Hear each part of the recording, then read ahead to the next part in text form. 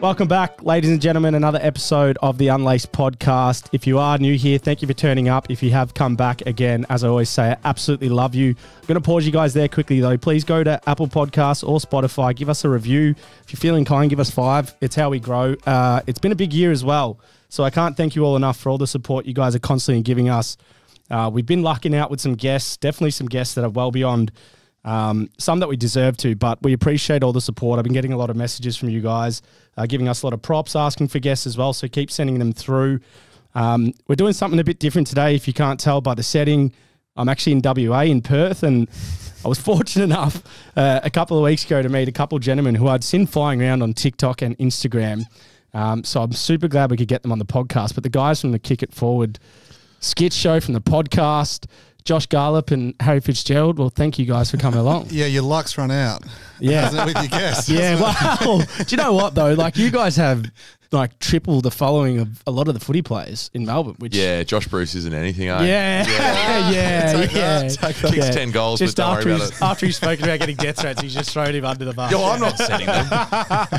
Yeah, well, honestly though, that you guys do some funny skits around footy though. Oh yeah, yeah. No, we like um we we love AFL and sport. Um, I used to be a sports much. reporter and.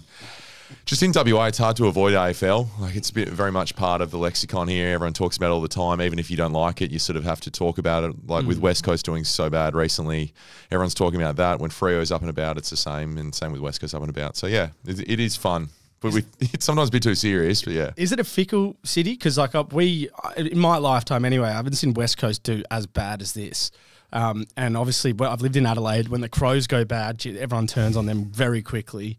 Oh, Uh, obviously, there's a few Melbourne teams that cop the same sort of hate, and they're in the news every week anyway. But from a from a Perth perspective, like, is that the case with WA? Oh, teams? everyone's crumbling over here. Every West Coast supporter is crumbling, and even though, even though Freo aren't doing you know as well as they expected, all the Freo fans are loving what's going on at West Coast as well. it's great. Yeah, it's good. I think, oh, at least West Coast, they've got the uh, the memory of the premiership five years ago. I think it was. So, yeah, it's it's definitely new what's happening, but I mean, it is still a game. Yeah, yeah. There's a fair bit of money involved too, I suppose, for the clubs. And that, Yeah. yeah. Well, Yeah. we we I will want to go into a little bit of your work, but we are missing one of you guys today. R.I.P. Yeah, RIP. Which Um, bit of a fan favourite, or, or some would say uh, a hated man. But Harry, I might let you describe him because you've Oh. got you, you you described him very well to me before. Well, Giorgio, you know, I mean, Josh also sums it up well. He's a polarizing character amongst amongst the um uh, the the viewers of the of the skits.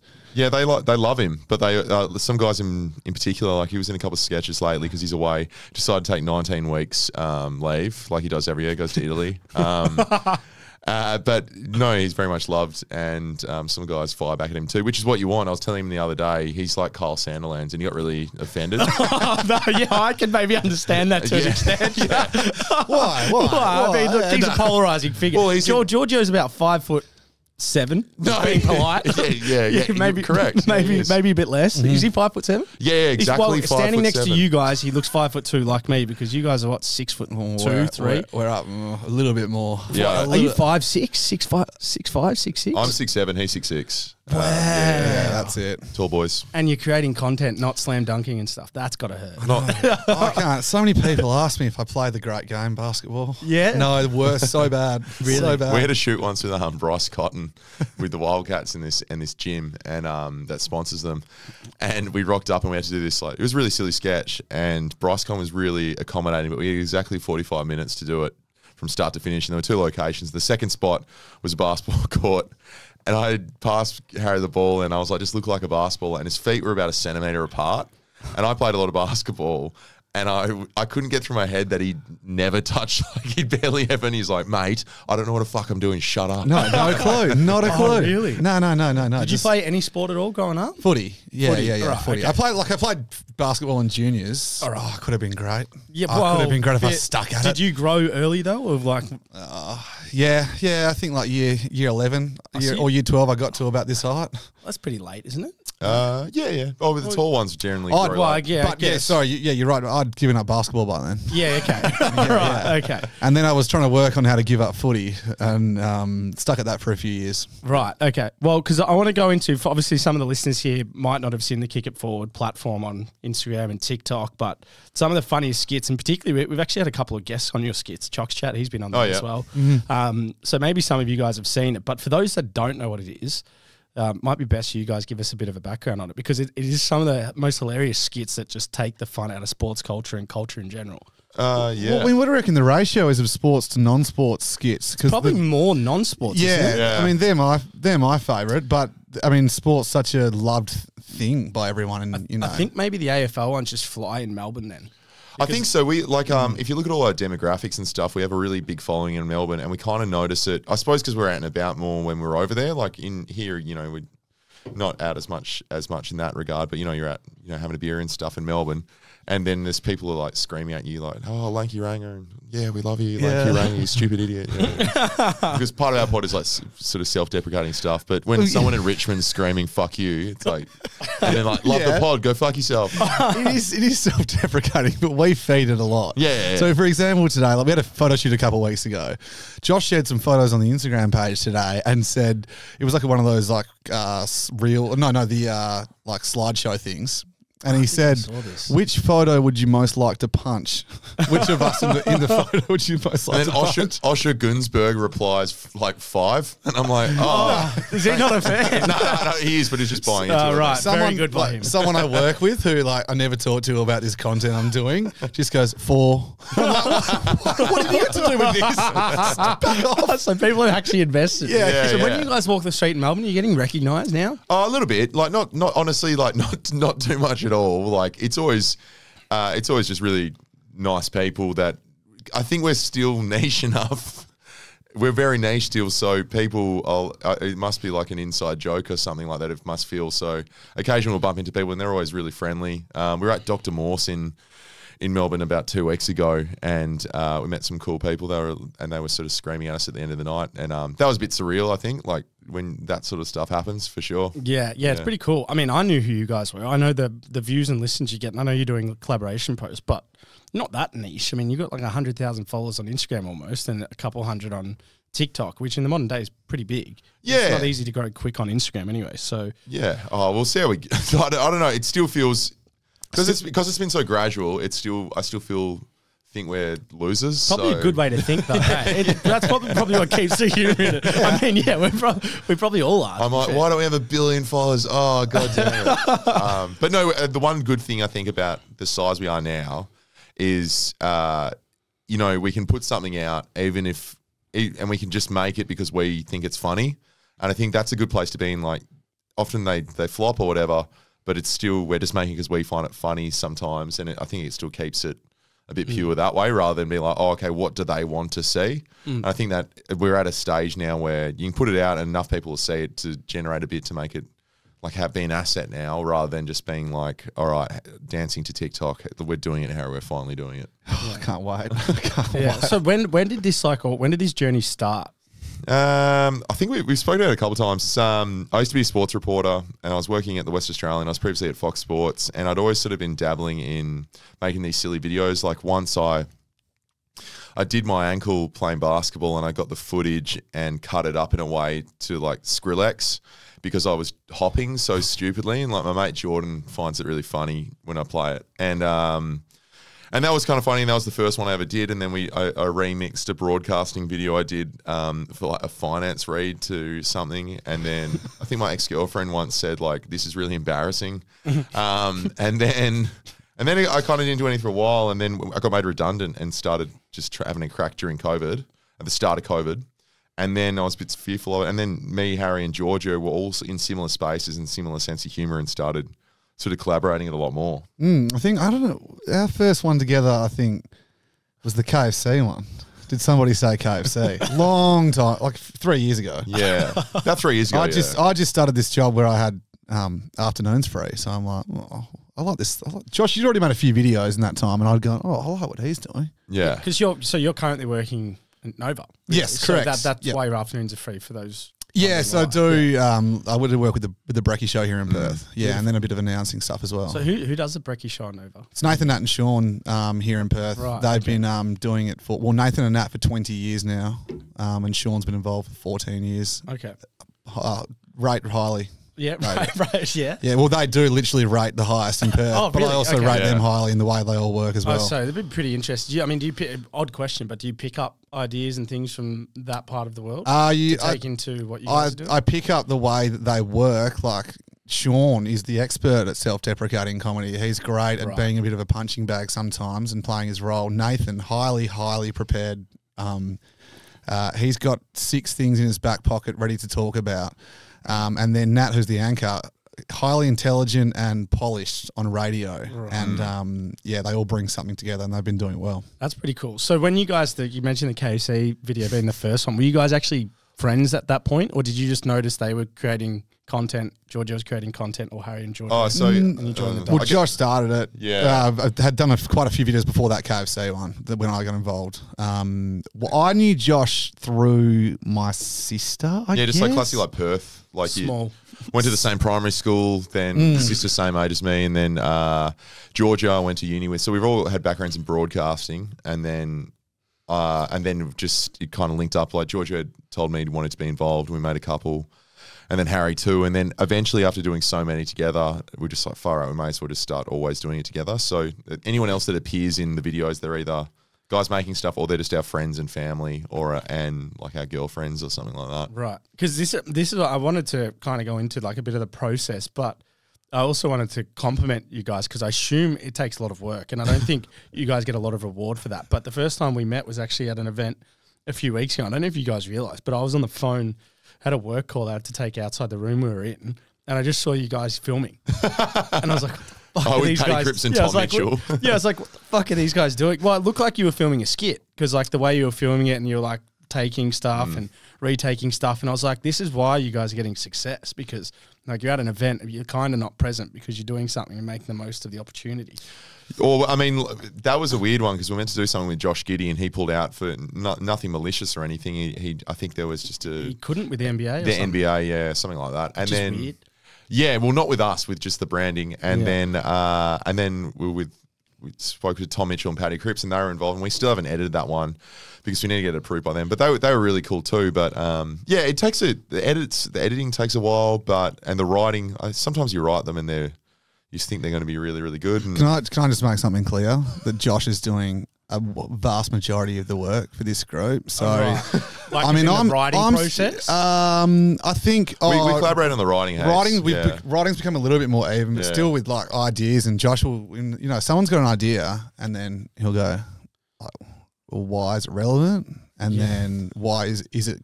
Are we going to take it to the? How are we going to take it to the next level and make it silly and interesting? But in terms of editing, Josh, hundred percent. Um, and you know, business side of things, Josh, pretty much hundred percent. But the, I mean, I I want to contribute more. I'm working, still working full time. Yeah, yeah. and Yeah, working well, shit hours. most most content creators in Australia are working Yeah. full time. Yeah, yeah, yeah, yeah, yeah, yeah. it's it's normal, I guess. Yeah. Mm. it, it's just part of it. But that's that's what's admirable about it because it's kind of you know now this market's sort of starting to open up where people are interested. Social media is booming, so when you are making good content, it gets recognized. There are opportunities as you, you guys are probably starting to experience, which is great. Yeah, I think that's the coolest thing. Probably we're pretty early on in it, and we're still small. But uh, it's just the fact that I can go full time doing it is great. And you know, you're busy. You're still busy, but every now and then you realize, oh, okay, you're still doing something awesome. So it's still a lot of hours. I reckon I edit probably seventy hours a week or something, like Really? between the podcast and trying to pump out videos and. So anytime, anytime I'm by myself or my girlfriend's watching which she doesn't really like watching a, a series, I'll just edit because I know I know from a start of one that it will take me anywhere between like four and thirty hours to edit something. So like if it's a challenging one, like we did one with um Josh Rachele from Adelaide, Oh, this was great. I saw this one. and um and we, we filmed that in the preseason, and and they were Adelaide is so cool to deal with, and um like and all the clubs are, but uh. I was like, I got this weird idea. Like, couldn't really think of anything. I was like, what? Rachele's kind of funny. It rhymes with lots of things. So what if we did like a word avalanche? But I've never made a song before, so uh, I reached out to another guy called Matt Storer to help me write it. And he's like, I'm not doing that for you. I'm like, oh, okay. but he gave me some tips and sent me on the right track. And then we got Jack Post to help us write because he's really good with music. So it took us like four months, and then we ended up delivering it. And then they were like, oh, that's really cool. I'm like, Yeah, yeah, it was hell easy. Josh, that's, Josh, that was you leveling up though. That was a new challenge Was, for you, he, wasn't it? was it? he in that Josh? Was he in? Yeah, the yeah. actual- So we got him in front of the green screen because we were like, oh, okay, how can we do this? Like, do this little intervention, but have him in it, but then go away. So we'll chuck him in a green screen, and then we'll get him to do as much as we can, and then go away. So we did one with him and Sam Berry, and it was really good. Mate, yeah, I, I watched that one. You, I think you started Michelle, and then it just went into like a, almost like a bit of a rap verse or something. yeah, Yeah, yeah. yeah. it was it was very good. It was like it caught Australian culture uh, through sort of all the, the rhyming words. Like what's it? Schapelle Corby got a, a Yeah, I, I can't. I can't take credit for that one. That was Jack Post. He's, Yeah, he's, that- he's so good with um with music actually. So it'd be cool to work with him more on that stuff. Do you, do you class like I mean I do, but I don't know if you do. But do you class yourself as comedians? Uh, it's pretty hard when you are. It's probably the easiest way to explain it to someone when they like, especially the way I think about it is when you're at like a dinner party or something like a family one where someone has no context Yeah, in the entire actually, world, and you just point. go, "Oh, comedian." Yeah. And then if there's a follow up question, then you have to sort of go into that a bit. So I normally say journalist still Gen- Yeah, because it avoids having to sort of explain it, and then they're like, "Bloody social media." yeah, because I if you, heard, I heard him say comedian to the Uber driver the other day. That was good. no, but that's, that's good. I, I get oh, like I a- embrace it. Yeah, you know, I'll say, you know, I say, actually, for prime example, I'll say to someone like at work who's a bit older than me, I'll go, oh, I'm going getting filming some stuff for the Sabo. And you get, oh, yeah, you're an influencer and stuff. I'm like, oh, I'd rather not be Oh, that. no, I'd rather not be that. That's like you, called then you start leading with comedian or even actor. Like, Yeah, I'm a yeah. influencer.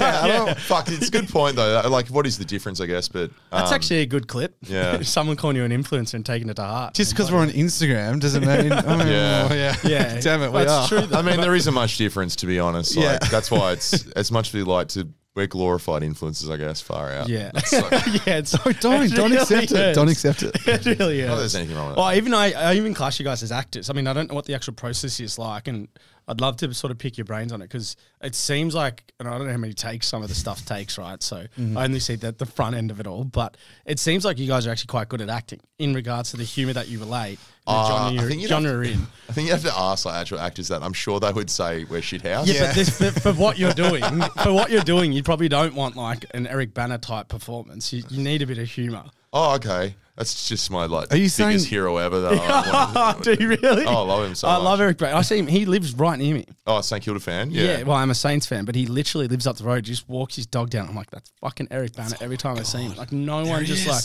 everyone just leaves him. I'm know, like, I, I reckon that's the coolest thing about Melbourne in a way is that a guy like Eric Bana can live in like a suburban home and Yeah. walk, not that it's, pro- it's probably a pretty good home, one, yeah, well, I assume it would be. but knowing him. he can walk around and everyone's like, oh, that's Eric, and then no one gives a shit. yeah, he just he just chills out. I see him sometimes having like a coffee with Nick Riewoldt. And I'm just like, that's just the most alpha like gangster thing in Melbourne. Is like Bana and Riewoldt just chat. The most St Kilda thing yeah, ever. the most St Kilda thing ever. Are you trying to take a sneaky little photo? no, I, no, but it's like I'm just hanging still, with my boys. no, I, I get heartbroken every time I see Nick Riewoldt. I just like, like we didn't wear flag. Oh yeah, And it just hurts because I'm like, poor guy. Like he deserved one probably as well. he kind of did though with that like a cappella um, song he did. Yeah, Did- yeah. that's kind of better than a That uh, that is got to be one of the worst bits and best bits of content ever made by any AFL team ever. Yeah, well, oh, well, it actually isn't. It's actually we did a um we do a podcast and we often do like audio documentaries on really shit ideas or like not shit ideas like really niche random sporting things and we looked up we figured out the a cappella history of it and it was this um Virgin used to for some reason for two years it was called the Virgin Footy Festival they made every AFL team submit an audio documentary uh, no, a documentary or a or a short film and theirs was that it was like the making of that and Will and Woody one of the guys did we went through the whole thing but what we realized out of the 36 that were made the a cappella one was actually it won that year because it was so much better than some of the other ones. Oh wow! So there was worse ones. yeah, there was worse ones. The Jonathan Brown one was actually way worse. Um, he's in bed with the premiership and been like, like- I can't remember what he says, but it's like basically he's in love with the premiership. Oh god, it's there's a lot of really cringe ones, but I really appreciate them. But it's it, I don't think it's fair the acapella one gets so much crap. Yeah, well, I don't know why it does. Maybe maybe because it did it did win. I don't Yeah, know. But yeah, maybe. they did some they did some interesting ones at that time. They did like stuff on the beach and Yeah, they, yeah. Were, they were going all in. It was um we got Tom Lee, he played for them during that period and he's from WA and he was so funny talking about it because he's removed enough to just sort of shred the whole concept.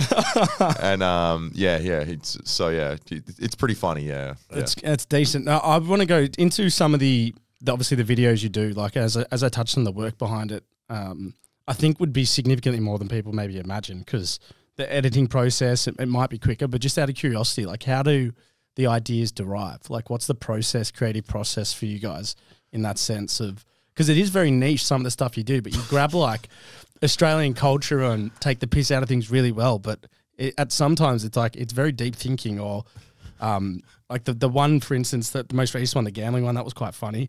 Um, Oh, the cast, head to the cast. yeah, but then maybe other ones is a bit more self-explanatory, like the AFL signboards, where it's like, well, that what the hell is That's going on here? Yeah, that's just take the piss out of that pretty quickly. Yeah, I think it's just if we find it funny, I guess. That's the, It's- the core of it. We write it down and then it's like, can it be made into a Yeah, well, format? well, that's the thing. We'll often be having a conversation about something or with someone else, and you'll go, You've had this mindset for years, Josh. I'm, I'm kind of getting a bit better at it. Going, hang on, that's a video. There's a video. Like, there's something in that. There's something in that, and then you can Right. write it down or run it. Or I'll, I like to call you. Josh doesn't like um, when I call him. I call him all the time. I'm like, Why? I'm Where is like, the caller? I'm like, Yeah. hear me out. Are you a texter? Yeah, I'll I'm text him 17 I'm texts. so glad. Oh no, I did call Josh once. I'm actually. like, hear me out. I've got, I've got, I'm, no, I'll go, I got an idea. And he goes, what is it on text? And I'm like, not telling until you call me. oh, okay, yeah, that, that I can understand that. And Giorgio's pretty similar too. He'll like uh he'll just he'll go, I've got this idea for this or something. He- Okay. he's mostly urine related for some reason recently. But, uh, I really wish he was here. no, it'd be funny. Yeah. Um but you know Urine related. he's somewhere with a blue fedora in Europe right yeah, now. loving Yeah. it, loving it. Annual leave. Yeah, Yeah. good on him. Um, no, so yeah, where did so the ideas obviously come from brainstorming. This is actually what I was thinking of just off that, and I just um, forgot my point there. But Larry David from Seinfeld, I always thought with him was when he's living his day to day life. Like uh, I'm like, is it warped because everything he's doing and watching is like kind of creative um, flows for what he's going to deliver on Seinfeld or Curb Your Curb, Enthusiasm. Is is that similar for you guys? Like, are you able to be present in stuff, or is like stuff just always coming to you, and you're like, "Fuck, I'm, I'm just trying, I'm catching stuff here for content." Because sometimes when you're wired that way, you kind of get caught up in every sort of little moment as like, "This is a possibility, that's a possibility," or not really. I think I had one one time. Uh, this guy, I was these these three brothers that are really really good friends with since growing up. Um, we're at their uncle's house, and uh, a guy came who I know pretty well. And when he was leaving, he was like, "Oh, anyway, I see, mate, we, we should def- we should get a beer sometime." And I, in my head, I'm like. We're never ever getting a beer ever, like, ever. Yeah. And then like the next day we made a video about it because like it's all about the guy that says, "Mate, we should get a beer sometime," and the guy has no intention of ever following it up. Yeah. So it happens a bit like that, I reckon. But at the same time, I don't know. I feel like sometimes I'm scrambling to write stuff down so you you don't forget it. Mm. Yeah, I don't. I know. There's a there's a document. yeah, There's- we got a there's couple documents. We got. a We're always doc- So you making. got like a bit mm. of a structure in place of how you would approach it. Yeah, yeah, and then it's more just a note, and then and then you sort of I've I've figured out too that often if you don't know how to make it now, in two years' time or something, because now we've been doing it for a while, you'll you'll find something you've written two years ago, and then redo it. Like we did one with a pro surfer recently, Geordie Smith, and he was a legend. I think I wrote it three years ago, but we didn't have a surfer to do it with, and we pitched it to Red Bull, and they were like, "Oh yeah, we really like it," Oh, and then wow. um. And then Geordie, we were meant to do it with Jack Robinson, who's the used to be the oh, six months ago was the world number one or something. And then Geordie Smith was the only person available, and we had him for like six minutes, and he was pretty. co- He was great in the end. It worked out really well, and it, it did really well. But it, that idea was originally thought of like years ago. Mm. Oh, this is this is what's interesting to me because before I get into sort of the business side of things, that's something on this podcast we, we cover a bit about because I, I kind of uh, find it quite interesting, particularly with content creation, because you are a bit of an entrepreneur uh, entrepreneur in a way, in the sense of what you're getting and what you're giving to the platform is maybe what you'll get out of it. And even you could work and put content out for ages, but without potentially working to align with brands, sometimes rewards, you know, not necessarily coming your way. But when did it actually start to take a turn in your eyes of like getting broader recognition as like, you know, people maybe not necessarily starting to recognize you, but followers going up, maybe a, a viral video that the moment started to change? Because in my position now, we're looking at you guys, I feel like you guys are quite big.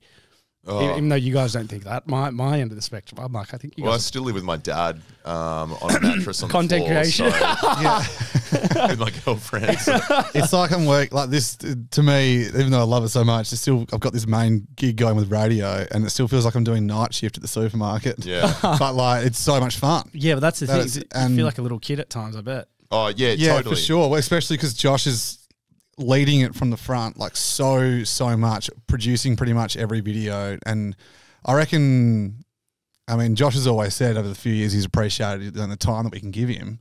But now it's like, no, I've always got to be ready for you. I've always got to be ready to go and willing to do stuff and film at any time. Yeah. Yeah, and it's some, sometimes, especially in social media, it's so like you have to do it within 24 hours, otherwise it's no longer relevant. And like it has a very, um, there's something very shareable if uh, people can see themselves in the the video. So if it's something like we had a video that we did on Qantas because Qantas lost my bag for like two weeks once, or I think it was like ended up, sorry, ended up being five days or something, but it was a nightmare flight and it was just out of COVID, and um, we'd made this video afterwards because I was so frustrated. It was literally like therapy, and then um, we sat on it, and then three months later there was like this big public outcry and stuff like that, and we just posted it again. And it, it went, it, it did really, really well, and people were like all getting around it. So there's something in that as well, like being ready for it. But as far as like a turning point where we realize it's something, well, okay, in our head we're still nothing, but there, it, it's probably more when there's like guys actually making good things that we were like noticing us. Mm. That was probably the when you're like, oh, what the hell? You like we're followed by Patrick, I think it's Brammall, the guy that was made a Moody Christmas. like all these amazing like and um Colin from accounts. We were like, I was like, what the hell? It's like, that why? like? Oh, I, like, I watch a Moody Christmas every fucking year. Like I love that program. Like I love the writing of it. It's so awesome, and I feel like I'm coming at it so late as well. So when stuff like that happens, um, I don't know. That kind of gives you a boost of motivation too. That maybe Yeah. you're not um, a psycho who's going to be homeless in a year. So do you do you class it now? Do, would you class it in your eyes as a business? Yeah, we're definitely going the way of a business, and I reckon the last we, we've we've set up a company as of like next week. Um, and That's big, man. Congrats. Yeah, it's cool. That's, that's awesome. and we learned from a couple other guys that are in the space. So, because we want to ma- make it serious and we think we can make it bigger, and we want to try and make you know TV shows or web series or Absolutely. short short fi- um, films and stuff like that. We want to make the best things we can possibly make. I don't, I don't know. What was your turning point, Harry? When you quit, Not your- Ashley and Mark. when you, by the when way. you yeah, I'm going on calf. When you when had you I think when you quit your job to do this full time, I've gone, well, holy shit, he's all in. How do I let's let's catch it. Let's get That's there. a, let's what, get what, there what one point day. did that happen, and why why did you make that call? Uh, I was working in the West Australian, and it was just I was uh, staying up till two or two a.m. often to get these edits out because I knew I only had the till I got home until I went to sleep, and then if I woke up early as well, and then it, with the grand finals in Perth, and we, we were doing so much. We sold all these shirts and we do all this other stuff, and I actually asked so much of the boys those couple weeks. Like me and Harry were delivering shirts by hand around WA. Like we accidentally sold five hundred, and then um Yeah. and then the problem with and the problem with selling foreign shirts Yeah. for twenty dollars each with no margin is one you make no money, Yeah. and two you actually have to deliver them somehow. and then Oh no, so we're like, oh, We Jack, through the roof. we sent the website live for the shirts, and I'd gone to the post office and bought twenty um, pa- prepaid parcels, and then they sold out in about two hours. I'm like, holy shit! But that was you're right. Actually, that was a good like little little turning point as well. Seeing people. Um, Friends and randoms wearing those shirts at the grand final when it was here in WA was awesome. yeah, it's cool. Like, holy shit, they're getting around this, you know, this this shit we're doing. No, Yeah. it's, it's, it's insane. Hey, legends, just a quick break in this episode to thank our partners, Dabble, the gambling agency, where you dabble socially and gamble responsibly. Please only bet what you can and are willing to lose. Now, Dabble is one of the great platforms out there. I absolutely love using it. Very similar to Instagram, where you can follow some of the head honchos in the different sports, copy their bets, and get some good wins on the board. Now, Fortunately for me, I've been working with Dabble for over a year. This year, we are doing a stream every Tuesday night. It's called Jake's Take. It's from 7 p.m. to 8 p.m., where you can go in the Dabble app. You can join me. We get guests on every week. We bet on the dogs. We have an absolute ball, and they're talking about sport and cutting up the shop around what's going around town across all codes. So come on down, check it out. Dabble socially, gamble responsibly, and let's get back into the episode. Harry, for you, obviously now you guys are working with other creators, comedians, athletes at times. Like, is that a bit of a pinch yourself moment? Is there anyone that you sort of been pretty impressed that you know you guys in WA creating content and having a bit of fun have been able to attract onto your videos? I mean, not so much athletes. I'm kind of like I love sport, and I'm, I get like these guys are doing amazing things. For me, being in the radio world, one was actually when Jack struck up a relationship with Jack Post. I was like, hang on a sec, because I've been following these guys on through Hamish and Andy for fucking years. You know, I used to listen to the radio, those guys, and I wouldn't. Sorry, I actually wouldn't listen to the radio when they were on because then I'd ruin. It would ruin the podcast for me. Oh, really? Yeah, that night it would ruin the podcast. Yeah, oh And That's how serious you were yeah, about yeah, yeah, Hamish and Andy. Nah, turn it off. You'd sacrifice your day Yeah. so you could listen to the podcast. Well, I just not listen to it in the car. You Yeah. know, if I'm driving along with mum or something. Since Yeah. I started in, oh, I don't know, mid 2000s, they started started going. So Do you reckon, like, I honestly, I mean, we're in that generation of growing up, like, through high school, watching Hamish and Andy, um, like, from, uh, what's it? Thank God you're any, any, uh, Thank God You're Here, Then yeah. what, what was the one they, when they were traveling overseas? gap years, Gap years, like real all- stories was like, great. for me, I don't know if, like, a lot of the sort of teenage or different generations now, but people that were born sort of 2000 and beyond know how funny those guys were because they're still massive now. And probably people just see them as like radio personalities, but they were like cultural, mm. like oh, figures yeah. in my life, like in regards to like setting trends, like making me laugh.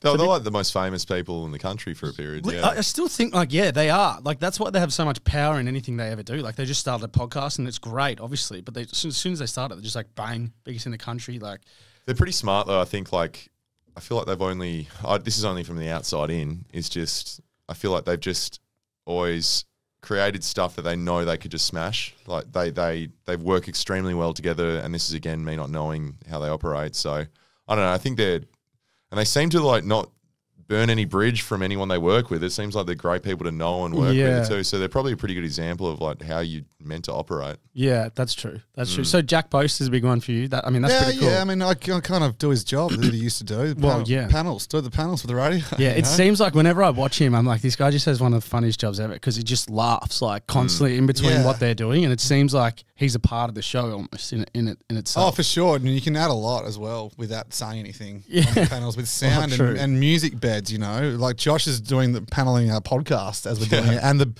when he drops the beds in, you know, whether it's as simple as something like sad piano or music, it sets the scene and the people on the mics react. So if I can do that as much as possible on the um, radio show, then I can, and they, I, it's it's appreciated from the hosts. Yeah, well, that's good. That's great. Um, I do want to get into the podcast, but I just want to stay in the business aspect for Oh, a yeah, bit sure. because obviously now you've just kind of turned it into a business. But um, I found that interesting that you went all chips in, left your job to go all in on this, which I, I really do admire. But how do you sort of go from now the idea of wanting to be a business or becoming a business to actually, in your eyes, like sort of making it stand up and, and continue to, to grow and, and be healthy in a sense? Um, I think it's due diligence with all the small things, like just I, as you can imagine, I'm I'm pretty bad with keeping track of all accounts receivable and stuff like that. So, you know, I've got a good accountant and stuff like that. As boring as it sounds, but that was a huge thing for me to try and get. Is unfortunately you have to pay money to help people to get people in that are good at those things. Um, so that's been a big step, uh, getting a mate in who's an accountant to do that, and then also just sort of knowing your value as well. So knowing that all these companies now want video content and they sometimes often want, want what you make. So if you set a price and you're comfortable and have other things set up, and we have some really good companies we work with that we really value their support. Um, if you sort of stick by that number and then walk away from other ones still, then if they really like you enough, then they'll they'll meet you at that point. I spoke to these, I think it was like Tony and Ryan or something, I can't remember, but they're amazing podcasts and they've done amazingly well from guys that were producers that just went on their own and pushed it really hard. And uh, is you still get people offering, you know, a can of Coke and a T-shirt for something that you've priced quite a, quite differently. And you know, there's a lot that goes into them, and you know, some people might see that as expensive, some people might see it as cheap. But um, you still need to eat, and with three of us as well doing it, then you know you have to divide everything by three as well, or whatever it is. So, um, I th- yeah, I'm getting better at it. It's trying to. There'll probably be some lean period, but at the end of the day, we're so grateful that we get to um, make stupid crap for a living. Like it's pretty cool, and I think like I remember just being uh, in jobs and you know you're depressed and and worried about fuck is it, this is it right? And you have little glimmers of moments where you really enjoy it. But you know I, I never don't enjoy this. So there's anxiety about that. Um, I might it might fuck up but like, at least I'd really enjoy it. Well, yeah, you're kind of not going to worry wondering, are you? Like No. you have a crack at it. But it's funny. I think back to in high school. Did you guys ever think it was a possibility to the space you're in now for that to be like a, a job? No. Like nah. it's pretty cool now for the people coming through high school. They see people like you Mm. doing it, and you're like, actually, I can fuck uni up for, and I can go be a bit of a dickhead, and just do it, do it with my mates, but you know, in a smart manner, and make it a job. Like that's pretty cool. I don't think think- Instagram even existed when we were in. Well, yeah, High it, school, it wasn't hardly, 2012 or hardly. Yeah, 2013 yeah, or something, right? Yeah. So I mean, I just went down the classic, boring path. Go to go to uni and do a commerce degree. Yeah, God, I hated that. But so you must much. like really appreciate the space in now, then more so if you've actually gone through that process. Because I went to uni and I was like, "Fuck, that that was painful, man." Like my eyes were bleeding through classes at times. Like it was just so Oh, hard. you get that looked at. yeah, yeah, was, it's good looking rooster. So, Nah, so yeah, it was tough, man. I mean, I think doing the a commerce degree, I did that because I didn't know what I wanted to do. Well, that's yeah, the And then you- economics and and it kind of kind of learn that you don't want to do that when you're doing the commerce Yeah. degree. Really? And you're going shit. And I mean, I've gone after uni. I pissed off to America for a little while, work at a ski resort. Came back and I'm like, oh, I've got to get a job now. Then I've gone, well, I've got a commerce degree. What's the easiest thing in commerce? Was marketing. So you go get a marketing Yeah. job. Yeah. And then I've um I there was always a little seed in me about like radio and something, you know, the content in that side of things. So I've I think I was secretly just trying to get a job at a radio station. And then I did go get work in sales. Well, And sales and think I- marketing are in every business, so and I that's think I, what to do. I think I was just going to got a job in sales secretly. I just wanted to go and uh, do stuff on the radio, so Right. it kind of worked out. Okay, that's pretty cool. Um, so for, for you, when you're you mentioned there before, you you had a video around surfing. You end up reaching out to Red Bull. Like, I just want to pick the pick the brains behind that. Are you putting forward, like in your mind, are you creating content just purely because you find stuff funny, and then you're figuring out is there a way we can maybe profit off this and make this bigger, or is it is it much more strategic than that in a sense? Um, oh, sometimes you get com- companies coming to you and they're like, "Oh, do you want to pitch for this idea and stuff?" And then you'll sort of brainstorm and come up with ideas. But that one in particular just was pretty serendipitous that we already had something pre-written.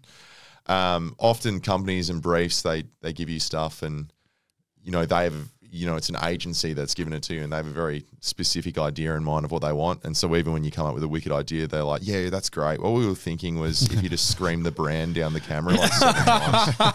And we're like oh I- oh okay. Um, it's a bit different. So um, yeah it's a bit both ways. I think we always try and go the other way first is like write it. But um, I mean sometimes you just need money unfortunately. Well, yeah, that's the thing. At this point of time as well, it's like you probably naturally got juggling more than just creating content now. It's actually it's actually a business, so you got to think a bit differently than maybe when you first started. Like this is just a bit of fun. I think the best the best advantage we have right now still is that I mean I'm lucky that the boys still work. Giorgio's dropped down a little bit of time as well, which is really handy as well. But uh, the biggest and like, the biggest advantage and disadvantage is that we are in Perth. Like the cost of living's you know less than Sydney. If we were there, that'd be tough. I can you know live with my dad for a bit. Yeah, you love it. I do. Oh, I do. It's good. It's Yeah. good. It's good. It's good seeing Has him. he been in some of the videos? Yeah, he's in heaps. yeah. Oh, I he's- was he's going to been say, about I'm pretty five. sure I've seen your old man in some of the videos. Great guy. He's getting a big Yeah. head though. Yeah, big He's guy. getting, oh yeah, Good he on that. can't That fit kinda- the door. Build him up. Yeah, I yeah. Yeah, just build him up. He was at the golf club, he reckons, and someone, um, Oh, no. someone, someone goes, "Oh my god, you're, you're um in Josh Garlepp's videos," and then um, he goes, "Yeah, yeah, yeah, yeah, whatever," and then, um, and then um, and he goes, oh, "I was going to give her an autograph, but." You know, because I thought it'd be funny to tell you I gave someone an autograph, but I couldn't find a pencil, and I, I was just started, I was like, "Why were, you, why were you searching for a pencil of all things?" Just picturing this geriatric guy s- asking everyone for a pencil. Um, no, so there's it's just easy to do it here. So I think we just need to keep keep slogging it because some days it feels like we're going backwards, and other days it feels like we've done nothing. Like so, I think the perspective thing is always so hard in every industry to figure out. Is there, and I don't want to uh, make one brand stand above any others, but is there anyone that you've sort of worked with from a brand perspective that you're like, holy shit, that's pretty cool? Like you just mentioned Red Bull before, but like, Oh, Red Bull were cool. Like they were really, they were really handy to work with. Um, and like they were actually good. The Perth team, they were like real supportive. Um, I don't know Harry. Any? Mm, I was gonna, I was gonna say Red Bull. I mean, that Yeah. was that was a cool one. Oh, the Yeah, AFL was pretty they- crazy. well, yeah, AFL. Yeah. I mean, uh, it's- it's funny to me because like speaking to you guys about AFL, you're like, yeah, we like it, but we like kind of grow up in Perth and we watch it. But like in Melbourne, I'm like, these guys like are ingrained in AFL. like just some of the videos man, because you've hit like such like like I go back to the signs one, but that's like very topical. It probably comes back to the point of like, you know, this is happening now. We've got to jump on it straight away. Yeah, and the problem with that one is, is I did, and it took six six weeks. Did it really? Yeah, and it did really shit. It's still kind of relevant though. Yeah, yeah, still it's doing still- it. true. That's what the we fuck is with that, by the way? Like, is Uh, it, it's so strange. yeah, it is a bit weird. Some of them are. I think they just get a bit of um. They're allowed to have a bit of creative license Yeah. in, in the department. Maybe Well, making yeah. those signs is all he does. The dabbing stereo is the best one. yeah. Well, I was thinking with AFL at the moment, and, and it's not to necessarily harp on about the game, but it is a bit of fiasco at the moment in regards to like rules and tribunals and you know just a lot of things that are happening. Like it's a bit of a playground for you guys. If really, if there's quite a lot of stuff there. yeah, we should probably do more on the tribunals. Like the tackling thing is so funny. We wanted. Yeah, I don't know. The playground for us, particularly with the podcast, is the comments. The- Ah. Any comments on social media? they, I think we we love the sport and we love sport, all sports, Yeah. but we uh, we understand that it is just a sport. Well, it, a, well, And this is the that's- thing. Even AFL media is a bit of a like a playground for you guys too, because they treat it like life or death. Yeah, And you like listen to some of these guys talk like week to week about the game. You're like, it is just a fucking game. It's a, it's a lot. Like seriously, It's man, a it's lot. so intense in Melbourne, bro. Like Yeah, if you it put is. the radio on, it's like, mate, that guy should never play again. It's like, like he had, had we, like ten we, found- touches. we, like, we, we were just listening to. I was listening to Dwayne Russell today, and um, I'm a big talkback fan, and um. Some some old guy rang up and goes, "Did you see the Essendon game on the weekend?" And Dwayne Russell's like, "Yes," and he responds with, "Tho- "All those players should be shot." And I was like, and Dwayne Russell, like to his credit, just goes, "Yeah, I don't agree with that, but I do see your point about kicking it forward." Uh, yeah, see let's get rolling. straight So- away. So in his head, they should all have a bullet in them because they didn't win the game. So no, uh, you got to love the passion in that stuff. I was just thinking, like from you guys, because I like, uh, and I love naturally being around funny people like like yourselves. But is there anyone from a like a media perspective in the AFL that you guys love to watch in the sense of not just for what they say about the game, but like because there's gold in what they say, like they're funny, or they get it severely wrong so much that it's it's quite humorous to you guys. Well, chompers. Chomp. Chomp, Oh, chompers. I actually love Chompers. Yeah, we're, I think he's, yeah, the he's a he doesn't say anything too out there. Yeah. and he's kind of a well, he's a bit of a punching bag now these days. but he likes taking But the he- piss out of everyone. Yeah, So, exactly. He- I like the way he operates. Yeah, that's, that's what Actually, the Sunday Footy show is. That I mean, that's, a, that's a pretty good show. That's Yeah. in regards to a bit of banter. um, I love Anthony Hudson. I think he's awesome. I, I, I don't know. I'm a bit of a nerd for all the commentary stuff. There's a guy called Brenton Speed who's like one of the best commentators Brenton in the Speed, country. Yeah, he was an A League commentator.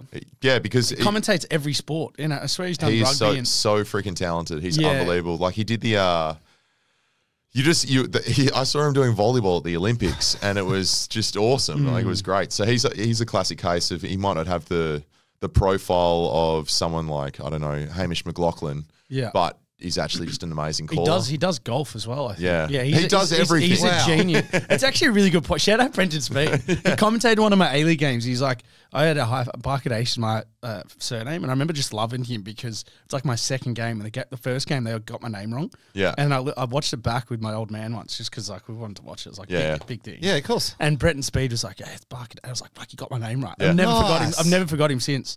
Yeah, Mate, he, would, he would have been prepping for two days. though. Yeah, but like Mm. no, no, yeah, different cat. Yeah, Yeah, no, they they're great. Um, I don't know. We we kind of like I don't know. I love it all. Kind of like I even get around the the NBA media as well and NFL media too. Like I'm I kind of like love obsessing over all that stuff. yeah, and, me too. um, I'm kind of obsessed with um, the the F1 commentators. Yeah, Harry um, loves that. Ah, Brun- really? Yeah, Brundle and David Croft. Um, Great sport. they they add fun to the most boring parts of a race, and they add excitement.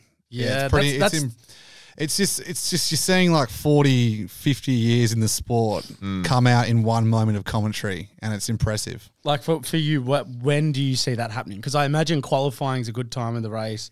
Maybe the sort of initial introductions and the start of the race, but It's across like the when, whole. when like race t- lap twenty around the same course. What's when there's like a safety car or a delay or something? They're just like so good at padding because you don't. It doesn't lose a beat. The padding and they're, and they're, they are uh, the best padders in the entire world. They're Oh, yeah. crazy. Ah, that's interesting. and get, like they have a real rapport. Like Crofty and um, and Brundle. They're sick. Oh my They're so god, good. those two, yeah. I actually got his name wrong when I met him once. Did you call him Martin Croft? I was like, no, no. I said, uh, Oh. Brun, uh, Ma- uh, Brundle, and he goes, I'm Crofty, man. I was like, oh, no. I was like, damn, damn, damn. Sorry, sorry, sorry, sorry, sorry. Like Brundle's grid walks? Come on, they're the best things Yeah. going is, around. is, was that that's not the guy that gets the people's names wrong though, is it? Hey, you got one name wrong. Oh, right. He's it's the hardest job though because he's he's in like okay, let's drop you in space. Oh, he's and yell he- so everyone. so. I do know who he is. He's unbel- He's a lo- he's Yes. an icon Yeah. in the Yes. sport. And Yeah. even though he clearly doesn't care about what this celebrity is up to, he's got a couple of questions ready for them. Yeah. Obviously, people feeding through his earpiece as well, but Yeah. he does. he kind of well. comes in with like this charisma, like, oh, so who are you? Like, do you Yeah. know Yeah, I mean? it's like, cool. It's pretty It's good. funny. Yeah, it's like, gangster. it levels them out a bit, Yeah, which is pretty cool.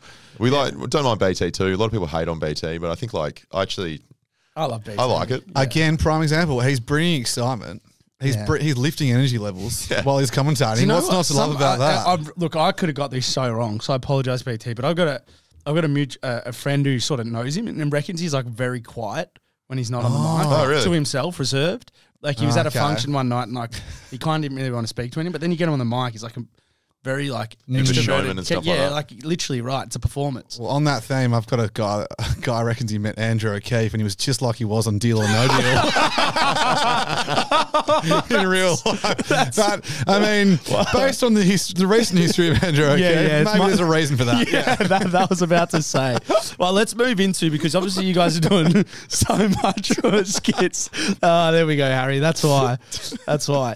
Well, I do want to go off the, the obviously skits because it's probably an extension of your business now. But the idea to start a podcast, like, wh- why was that a necessary sort of pathway for you guys? So we got offered through a company called MIK. I got offered a opportunity to potentially leave mainstream media, and that was part of the reason I'm leaving too. Was Spotify were giving out money basically for original content, mm. and uh, they needed a sports program, and MIK reached out to me because they're like, "Oh, we could probably develop something." We ended up putting something together, which was originally full credit. Now, um, at the end of the year, we had a two-year deal with both with an option, and then the second year we ended up we weren't hearing anything. We weren't hearing anything, and there was no malice whatsoever. It just didn't happen the second year for a lot of reasons. And um, now we've been doing it by ourselves, and we learned so much from that. And I think that's the one thing I've learned from this whole thing is you always start these things not knowing anything, and then six months later you're good at it. So then, so it makes you less fearful, I reckon, of starting something new. So now, like I edit our podcast by myself and make audio documentaries and stuff, and and then we cut up our vision as well. So eventually we get this point where we want to. But we did me. We all just love the medium. We love podcasts. I've always loved podcasts. Yeah, That's the so reason I got into it. Yeah. So that was the reason I got into broadcasting originally. Was I was uh, I was an engineer. I did an engineering degree and I was working in this job. And I was just listening to like 11 hours of podcasts a day. And um, while I was doing this sort of mathematics based job, and then eventually went to broadcasting like a, a post grad course. Yeah. It's interesting. I- I mean, I think it's cool. One of the reasons like podcasting, obviously, recorded conversation and so forth, but getting like creating a job off your personality, like it's pretty cool when you think of it in that sense, because Yeah. that's kind of what you guys are doing, and to an extent, every person in a podcast medium is kind of doing as well. Like they're just covering or capturing content from who they are as a person. Yeah, I, I was speaking to my sister yesterday, and uh, we were talking about the last episode of the podcast. She goes, "I wish um, I wish your podcast was just about you, the, what your guys' weekend catch up, the, whole, the whole podcast." I mean, admittedly, she's not obviously into sport as much as uh, other people are, but she did really enjoy that. Oh, really? That part of it. Oh, that's cool. So when you went uh, sort of the content basis of the podcast, like how would you describe it for the listeners of the Unlaced to potentially, if they were interested to go over and listen to it, like what sort of craziness and fun are they going to capture in it? Uh, well, our sort of one rule is like, how do we justify being like three white 30 year old dudes talking about sport casually? Um, and so we all have backgrounds in production. So we just sort of thought, let's just make, never be lazy and always just triple down on gags. So we just, anytime there's a chance to, do production, like edit something, make an audio sound effect or something like that. We just go right into it. We make fake trailers, we make audio docos and stuff like Radio stings. um, I, I, I peed in the sink because the the because the toilet was occupied in Melbourne at Airbnb, and so Giorgio made a trailer called the Sink Pisser because he was so horrified by it, and I was I it was, we were obviously in two months, so I'm not really giving a good um, synopsis, but and I mean, sprinkled, pissing to sink's interesting. sprinkled within in that is a lot of like updates on sport and stuff like that as well. So yeah, we I think do. the unique proposition is the audio documentaries that Josh has um, mainly putting together. They're awesome. Oh, they're So okay. A combination of uh, random. It could be a little niche thing um, from the sporting world, like for example. Toby Thurstans saying "cat dog" when he won the uh, got handed the premiership medal back in two thousand and Uh, Toby Thurstans. Was 2003. he, was he Port Three. Adelaide? Yeah, yeah. For 2004. He goes, cat yeah, dog. yeah, yeah, yeah. So, Yeah. And it was an inside joke with all his best mates from a small town in South Australia, and they were watching on a on a um, oh no in Victoria. He was from Would the Mornington. Peninsula or Yeah, something. yeah. And they were all in like Albury Wodonga at a, for their footy trip, and they were like all betting like, oh, he's going to say it. He's definitely going to say it. and they were like, he, like, oh, he's going to win, and then he won.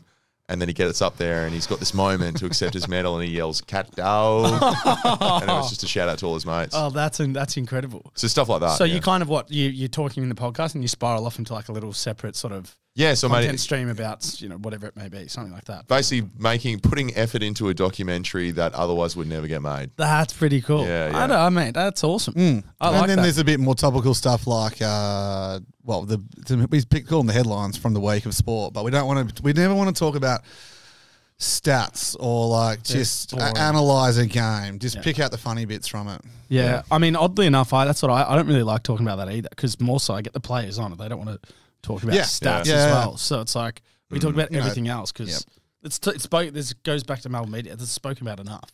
Yeah, for sure. Like- like how well, there's enough. There's enough podcasts like that. So mm-hmm. we, Correct. We kind of just. I think the first couple times we're figuring it out, just pulled each other up, saying it's not really interesting listing assists and rebounds and stuff like that. You did ha- you did a hell of an intro for the podcast though. I mean, it was like the equivalent of what was you? You're at Optus Stadium. It looked like you guys were storming the field. You're sitting on top of the stadium. I was like, the fuck are these guys? Like that was pretty intense. Oh yeah, they were um, Optus Stadium were held good to us. There's a woman that used to work there that um was in their marketing team. There's a couple of people actually, and they were they were really handy. And they just said, "Hey, do you want to get on the roof for like?" And we're like, "Yeah, actually, there is um we have something coming up we might need it for." So Just they let us do it. They've actually let us do it twice. The funniest bit was one time we um we filmed something on Optus Stadium and we invited down like 25 extras, and it was for a fake like um, movie called Kick It Forward, and and at the end of it there was a security guard called Karen, and she was there to like uh, make sure we didn't rip up the turf because they're protective of the deck. And she goes, "Well, you got another half an hour. You guys want to go?" And I go, "No, no, no. We everyone wants to leave." And I turn around and there's all these like 25 to 35 year old guys just having cracks from thir- from 50 out, and they're all stripping with sweat. Just It's like great. The We're- worst kicks ever. and just all kids. Just like how often do you get to have a crack at Optus Stadium? You know what I mean? Or the MCG? Well, it's well apparently by, by all reports, and I mean, I've never actually watched a sporting event there, but obviously I've had friends that play in the AFL that played there. Like people mm. say, and people who've gone to it say it's like the best ground to go to in the country, which is a massive call when you come from Melbourne. Obviously, got the MCG and stuff. But Yeah. a lot of people are saying that. Like, is it that good? It in is. your In, it's incredible. Yeah. Yeah. I mean, you've got forty thousand less than the M than the G, but um, it's still it's modern facilities. Hmm. Um, yeah, I can't fault it. There's not a bad seat. It's kind of like Adelaide Oval in that regard. Like, there's not really a bad seat. It doesn't have a lawn. Lawn would be cool. Oh, like the hill. Oh. I mean, Yeah. they they what they play cricket there as well. Speaking of the Yep. Ashes, are you guys what? Do you guys watch the Ashes at all? Yeah, a little bit tough. Yeah. Tough with the um, well, the time zone. Yeah, what's better than Melbourne? Actually, It's yeah, probably- yeah, you yeah, get yeah. two hours more, obviously. Yep, here, yeah, It's actually pretty handy here, actually, because Yeah. you, you can watch all except for a couple of hours or something like that. No, I don't. I don't watch too much, but I normally get the watch the highlights and the wraps the next day. Yeah, because Yeah. the, what I the, the pro- pretty much why I love the Ashes is not so much about the cricket; it's about the hatred for the fans of each country. Yeah. like there's Yeah. genuine hatred when it comes to cricket or the Ashes with the Poms and Australia. Like some of the TikToks flying around. Have you Yeah. have you seen some of them? Like people Yeah. like Oh, the Barmy Army. yeah, an Aussie guy. An. Aussie guy gave it. He might even be from Perth. I forget what its uh, platform was, but he like he wants to do like a YouTube boxing thing with Ollie Robinson for giving Usman Khawaja a send off. Like he, he wrote him a, a letter, and he read it like it started off like "fuck you, Ollie," just to start with, and it ended like "I want to fight you." I'm like, what the fuck? And then you've got a guy who's like who, from England who's doing the same thing, who's literally coming back at all the um, Aussie like broadcast radio people and media people who have like had a dig at Ollie Robinson and like just calling them out. And I'm like, that people actually hate each other. Yeah, the, it's funny. a really fun rivalry. I think it's all, it, for the most part, pretty like well, like It's banter. well I take it as Yeah. banter, yeah. But it's just funny how it just erupts people. Yeah. Like it, it, it flicks a, uh, like a bit of blood Well, in some people. well, fan is short for fanatic, right? So there's a couple in there that are batshit, I guess, but in the best in the best way possible. Uh, so you guys are going to get guests on for your podcast? Have you guys been getting guests on, or is it mainly the kick it forward guys? Like, what's the sort of thought process? Uh, yeah, we're that? trying to figure out a better way to doing it right now. We've got we have Jack Watts next week. We interviewed him a couple of weeks ago. Oh, awesome. um, but we mostly mostly trying to get them on if it's okay. We have a question that hasn't been answered about something. Like Mm. how can we involve them? So There are also guests during the um, audio documentaries as yeah, well. that, that's for Yeah. like Oh, during so the you- audio. So, documentary. do you have Yeah. like people that just pop up in the show versus like actually stay on the show for like the whole show? No, we've never done someone for the whole show. I think we probably will end up doing that. But the problem is we're just in Perth, so a lot of the people we would have on aren't here. So It's tough. um, I think like like we'd love to do something like Broden Kelly and something. If that would probably be a co-host that we have a fourth person on or something. That might, might be the way we do it in the future. Actually, if the like a comedian or an athlete's in town, we'll have them as the fourth get host or something like that. Beautiful. Well, it, it would be remiss of me to not ask, like, and I'm sure maybe there's a, a thought process around it, but like what the end goal would be. Like, uh, obviously, there's a, a bit of a nirvana I'm sure you guys are working towards. I know it's probably day by day at the moment, but Mm. you can't not look to the stars sometimes. So, what, what, what would be the sort of end goal you guys want to achieve? What do you want to do, Harry? I actually don't think I've ever Can I, asked you. start, I mean, my my I've, I've thought about the short term goal, and it's to have um, the ability to put more energy into it, into Right. what into what Josh is, um, yeah, what we've been doing for the last few years. Yeah. Um, I'm in a, I feel like I'm in a position where it's hard to like, you know, dr- uh, dream big and you know, I want to do this and want to do that when I'm not doing 100 percent of my time isn't into it. Yeah, of course. Yeah, so it's hard. It's a hard question for me to answer. Yeah, that well said. Dave. Yeah. Um, oh, we got a couple web series ideas that I'm trying to get funded right now um, for next year. I think my one goal this year is to make something really nice on the like beautiful on a larger scale. So just learn. So learn that way. Either make a web series or a short film or something like that. Um, I think a show is within our realm, but I feel like a TV show or some sort of skit show. I, th- I think that needs to be the end goal. Whether w- whatever it looks like at the end might be different. Whether we're on someone else's or helping someone, I think it's just. I think that is the end goal at some point is to make something that people like on a bigger scale. Um, And yeah, I don't. I don't know. We just we love. It's been so fun making what we do right now. So I think also just tripling down on the stupidest ideas possible. Yeah, keeping it fun as well. Yeah. Like that, that'll be important. But well, um, it's funny, we probably do have actually quite a lot of content creators um, who tune into this show. But like some advice you can give to some people who are starting out in this space or early in their journey that, you know, if you had your time again, you would have loved to have known. Uh, Get uh, well. One thing I can say is that Josh does. He just gets the phone out and starts recording. Write it and then go and do it. Just do it. Like that's the. Sometimes you know I'm like, oh, where, where do we start? Where are we going to start this one? And I don't know. You've always seemed to got something. Always got a place to start. Yeah, I think um, I think it's, like for me, I was always so scared of putting the stuff out due to the judgment of what it would be. But eventually, you just don't care.